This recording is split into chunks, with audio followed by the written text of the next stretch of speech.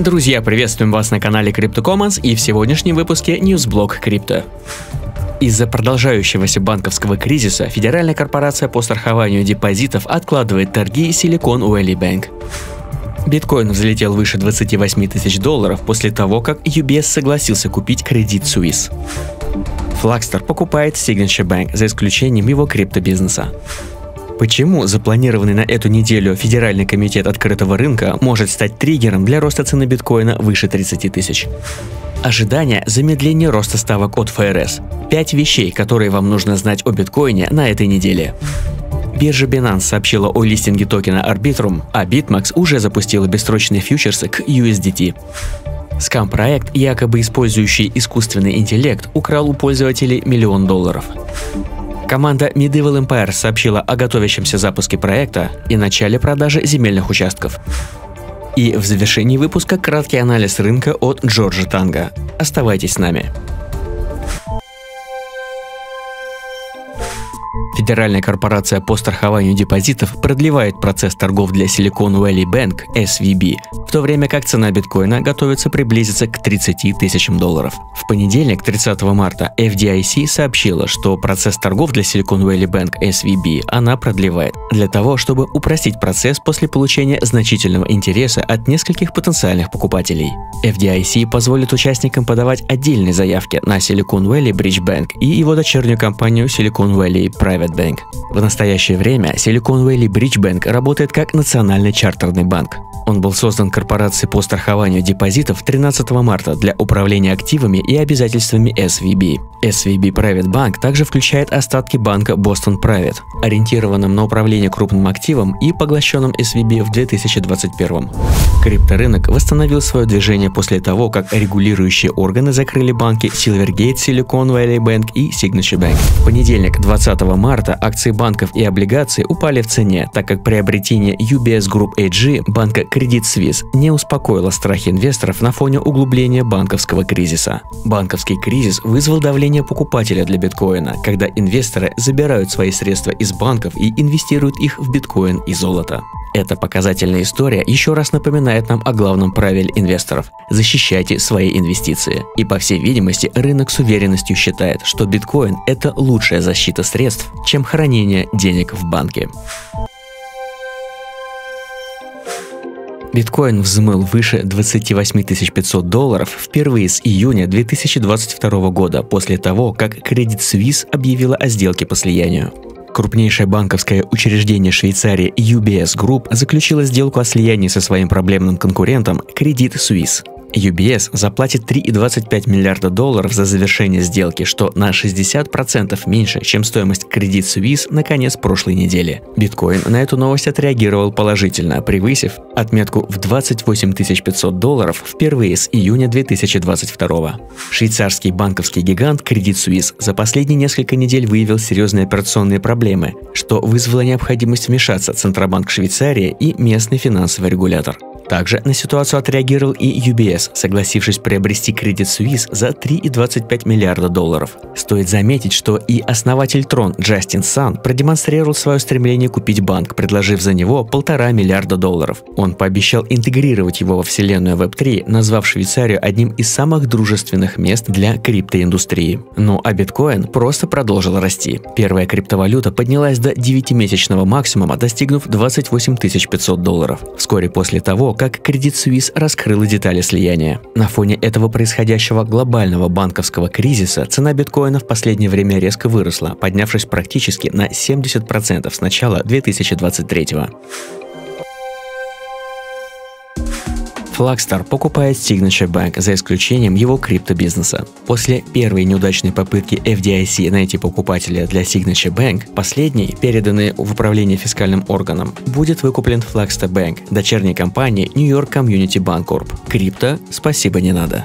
По информации от Reuters, которая в дальнейшем была обновлена для отражения заявления FDIC по этому вопросу, говорится, что по информации от неназванных источников, любой покупатель Signature Bank будет вынужден отказаться от взаимодействия с криптоиндустрией. Однако по утверждению самой FDIC, они просто предупредили покупателей о рисках, связанных с работой с криптовалютой, и не требовали от потенциальных покупателей отказаться от этого класса активов. Но независимо от того, данное требование является обязательным или нет, Bank принял решение исключить клиентов, связанных с криптовалютой из депозитов, которые он взял под свой контроль. Таким образом, большая часть активов Signature на данный момент остается в руках FDIC, которая также получила прирост капитала в виде обыкновенных акций материнской компании Flagster на сумму около 300 миллионов долларов в рамках данной сделки.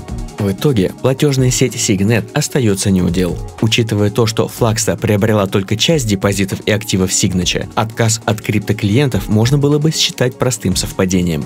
Однако отстранение Flagsta от индустрии также распространяется и на операционную деятельность. По данным Bloomberg, Signet, платежная сеть для операций в реальном времени, созданная специально для криптоклиентов, остается под управлением FDIC. Реализация платежной сети вместе с другими активами и депозитами, принадлежащими ныне несуществующему Signature Bank, будет осуществлена позднее. На момент выхода этой новости, по всей видимости, Signet все еще функционирует, несмотря на то, что находится под конкурсным управлением. Однако неясно, как долго она продолжит обрабатывать платежи, так как Circle уже перевела свои операции в Bank of New York Mellon.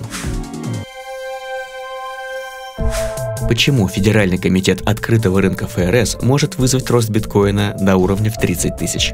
На предстоящем собрании Федерального комитета по открытому рынку будут рассмотрены два вопроса – сдерживание инфляции и предотвращение более крупного банковского кризиса. Продолжающийся банковский кризис наряду с макроэкономическими проблемами в США, вероятно, могут привести к благоприятному исходу для рынка криптовалют на предстоящем заседании Федерального комитета по открытому рынку. На момент проведения заседания ФРС 21 и 22 марта 2023 комиссия Центробанка примет во внимание свою большую задачу по снижению инфляции до целевого уровня в 2%. Однако немедленный вызов образовался из-за кризиса, вызванного крахом Silicon Valley Bank на прошлой неделе. Индекс потребительских цен вырос на 0,4% в феврале и на 6% по сравнению с прошлым годом. Однако банковский индекс KBV NASDAQ за последние две недели вырос на 27,6% из-за усиливающихся страхов распространения банковского кризиса среди инвесторов других банков. Но поставит ли ФРС поднятие процентной ставки на паузу. Согласно данным инструмента FedWatch Чикагской товарно-сырьевой биржи, который оценивает федеральную целевую ставку на предстоящем заседании FOMC, прогнозирует большую вероятность повышения на 25 базисных пунктов, 63%, чем сценарий без повышения. При этом о сценарии поднятия базовой ставки на 50 базисных пунктов даже не идет речи. В данном контексте аналитики полагают, что повышение ставки на 25 базисных пунктов, за которым последует голубиный настрой ФРС, может спровоцировать рост цены биткоина до уровня выше 30 тысяч долларов. Однако, учитывая тенденцию цены биткоина на предыдущих заседаниях FOMC, криптовалюта может скорректироваться перед тем, как пройдет заседание. В любом случае, в ближайшие два дня ситуация станет ясной. Отличная аналитическая статья вышла на Cointelegraph, которой издательство обращает внимание на пять вещей, которых вам следует знать на этой неделе о биткоине. Начав эту неделю определенно по первая криптовалюта преодолела отметку в 28 тысяч долларов. После недели хаоса, в результате которого образовались приличные прибыли, биткоин и альткоины остановились на уровнях, которых не видели последние 9 месяцев. На этой неделе, как и на прошлой, нам предстоит преодолеть все возможные потенциальные препятствия, ФРС примет решение о следующих изменениях процентной ставки, а новые макроэкономические показатели также будут опубликованы. И первая тема, заслуживающая нашего внимания, это сомнение в состоятельности очередного цикла повышения процентной ставки ФРС. Макрособытие этой недели, несомненно, решение ФРС, которое оно примет 22 марта. По сути, ФРС оказалась между молотом и наковальней. Повышение ставок будет сдерживать инфляцию, но еще больше накажет экономику и, возможно, даже спровоцировав новую волну банкротств банков. Согласно инструменту FedWatch от CME Group, по состоянию на 20 марта консенсус в пользу повышения ФРС на 25 базисных пунктов, а не в полной приостановке повышения. Недели ранее Goldman Sachs предсказал, что ставки останутся на прежнем уровне, а на Мура даже предсказали снижение ставок. В общем, запасаемся попкорном и ждем результатов заседания ФРС. Благо, до этого осталось менее двух дней. Спот цена биткоина приближается к 30 тысячам. При этом настроения на рынках биткоин и криптовалют по понятным причинам изменились к лучшему в начале недели. На момент подготовки этого выпуска цена биткоина торгуется на отметке в 28 тысяч. Уже достигнув 9-месячного максимума, пара биткоин USD смогла победить медведей в период консолидации на прошлой неделе и вернуться к целевым уровням, которых мы не видели почти целый год. Главным из них является 30 тысяч долларов, психологически значимый уровень, окруженный значительной исторической ликвидностью. Между тем, для мониторинга индикаторов материалов и других ресурсов ключевым уровнем поддержки является 200-недельная скользящая средняя. А тем временем аналитики предвещают окончание медвежьего рынка. При этом некоторые из них, делающие долгосрочный анализ, уже утверждают, что биткоин вырвался из медвежьего рынка, образовавшегося с момента исторического максимума и начала ужесточения ФРС в конце 2021 -го. Недельное закрытие образовалось крайне близко к отметке в 28 тысяч долларов, что сделало его самым высоким для биткоина с начала июня 2022 года. Для трейдера, аналитика и ведущего подкастов Скотта Малкера, известного как Волк с All Streets, это имеет очевидные последствия. Биткоин достиг своего первого восходящего верха в 25 212 долларов с момента своего исторического максимума. Это подтверждает новый бычий тренд. Цена все еще может пойти вниз, но это будет новый тренд, а не продолжение предыдущего медвежьего рынка. Всех поздравляю! Новые исторические максимумы для сложности биткоина. В своем классическом движении основные показатели биткоина отказываются бросить свое путешествие на Луну. Согласно последним оценкам от BTC.com и Mining Pool Stats, хешрейт и сложность в этом месяце находятся в режиме только рост. В ближайшие дни сложность корректируется на 3,26% и составит практически 45 триллионов.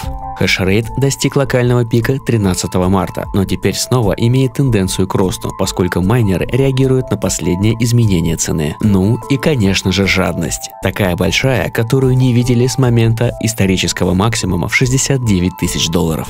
Но причины опасаться текущего бычьего взлета по биткоину и рынку крипто в целом все еще есть. Взгляд на настрой рынка говорит, что большая часть его становится чрезмерно уверенной в том, что хорошие времена продолжатся. Индекс страха и жадности, который использует набор факторов для получения нормализованной оценки настроения для криптомира, сейчас составляет 66 из 100, уверенно находясь в зоне жадности и являясь самым высоким показателем с ноября 2021 года. Вот такая пища для размышления на эту неделю, которая обещает быть абсолютно интересной. Главное, держитесь крепче. Binance сообщила о листинге Arbitrum, а ARB Futures на бирже BitMEX уже торгуется. Сегодня криптобиржа по торговле деривативами BitMEX запустила фьючерс-торговлю с маржинальностью QSDT токена ARB в преддверии долгожданного аирдропа Arbitrum, запланированного на 23 марта. Binance также сообщила о начале торговли токеном Arbitrum в парах ARB к BTC и ARB к USDT с возможностью вывода средств с 24 марта в 17.00 по UTC. Сегодня в своем твиттере твиттер-аккаунте BitMEX сообщила, что расширила список фьючерсов токеном ARB, по которому пользователи могут открывать позиции long и short с кредитным плечом до 20x в паре ARB USDT. Другие криптобиржи также сообщили о листинге токена ARB. Сегодня о листинге токена ARB сообщили биржи Binance и Poloniex, а ранее о листинге сообщили такие биржи, как Huobi Global, MXC Global, Bitrue, Bybit, CoinVexchange, Beconomy и другие. Похоже, интерес к токену не слабо разогревается. Главное Главное, чтобы теперь об него не обжечься.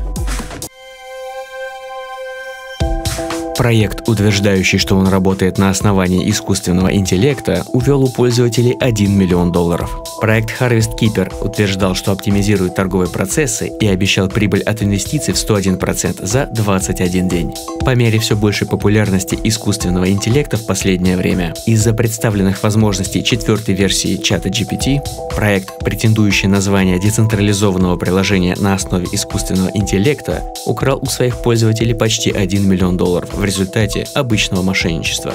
Платформа по блокчейн-безопасности CertiK недавно подтвердила, что на момент написания этой статьи Harvest Keeper украл активы пользователей на сумму около 933 тысяч долларов. Кроме того, по данным CertiK, пользователи также потеряли около 219 тысяч долларов из-за айсфишинга в сетях эфира, BNB и Polygon. Кроме того, CertiK призвала пользователей отозвать ранее выданные проекту разрешения и предупредила, чтобы они прекратили взаимодействие с сайтом проекта. Harvest Keeper утверждает, что это проект искусственного интеллекта, который оптимизирует процесс торговли для максимизации прибылей и обещает доходность в размере 4,81% от депозита пользователей. На своем веб-сайте платформа обещает возврат инвестиций в размере 101% в течение 21 дня и реферальное вознаграждение в размере 8%. У проекта почти 30 тысяч подписчиков в Твиттере и более 32 тысяч подписчиков в Телеграм-канале. Тем временем, когда хайп вокруг чат GPT снова появился в Твиттере, на социальной платформе появились десятки учетных записей, утверждающих, что они связаны с CryptoGPT. 10 марта хэштег, связанный с проектом токенов под названием CryptoGPT, был в Твиттер-тренде. И поскольку новейшая версия чат GPT показала, что может проверять смарт-контракты эфира, многие размышляли, сможет ли она в конечном итоге заменить разработчиков. Однако на недавнем мероприятии ETH Дубая разработчики блокчейна выразили уверенность, что новая итерация популярного инструмента искусственного интеллекта не заменит разработчиков, а сможет им помочь. Совсем недавно, общаясь с чат GPT, я задал ему вопрос, опасен ли искусственный интеллект для человечества, на что получил ответ «конечно же нет», чему, конечно же, сразу и бесповоротно поверил. Очевидно, что искусственный интеллект человечеству привносит массу возможностей, однако у всего есть цена, и аналогично большим возможностям и прибылям, которые крипторынок несет пользователю, особенно во время волатильности, искусственный интеллект в себе также несет определенные риски, о которых мы, возможно, еще не знаем.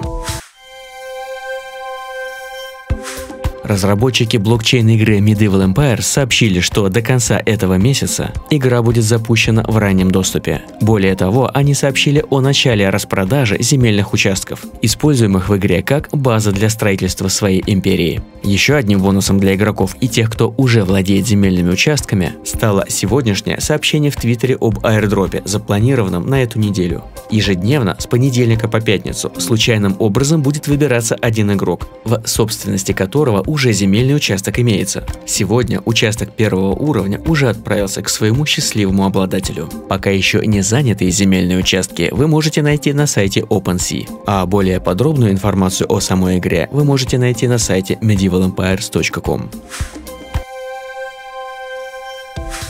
И завершает наш выпуск краткий обзор рынка ведущего канала CryptoZorus Джорджа Танга. Как многие из вас, возможно, уже слышали заявление бывшего генерального директора Coinbase о том, что в ближайшие 90 дней биткоин достигнет цену в 2 миллиона долларов. Что ж, заявление интересное, но вероятность такого крайне мала. Джордж рассуждает, что вероятно произойдет в ближайшие 90 дней. Давайте послушаем полторы минуты его рассуждений. Кто знает, куда биткоин уйдет через 90 дней. Вот, к примеру, взять вот этот график.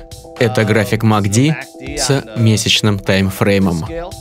Посмотрите, однажды биткоин уже перешел в зеленую зону. Это случилось в 2015, а также в 2019. Посмотрите на то, что произошло после этого. Мы, друзья, в шаге от того, чтобы тоже перейти в зеленку. Это уже происходит. Это месячный таймфрейм. И подобные пересечения на самом деле не происходят слишком уж часто. За последние 10 лет такие события случились всего лишь трижды, и в этот раз это будет четвертый. Это нечастое событие.